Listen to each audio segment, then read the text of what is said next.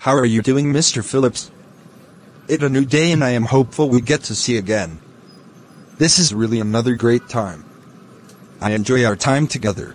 I am fine. I have just a question to ask you, Santa. What do you think about the science of the universe? Should I focus more on my intuition? Is it reliable? The universe is considered as a packet of energy that oscillates with the frequency. So, by law of energy, the universe can communicate. But if we aren't extremely focused, we cannot know what the universe is saying. It talks to all of us who are willing to make our lives better. Okay then. But why can't I know what the universe is saying about me?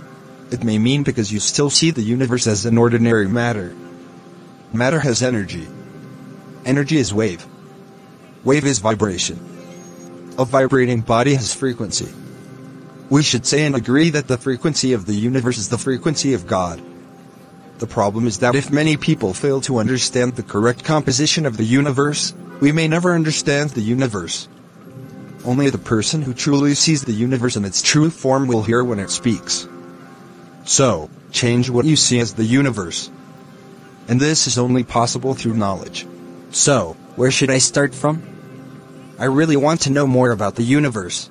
When we say knowledge, many people are too scared because they feel knowledge is bad.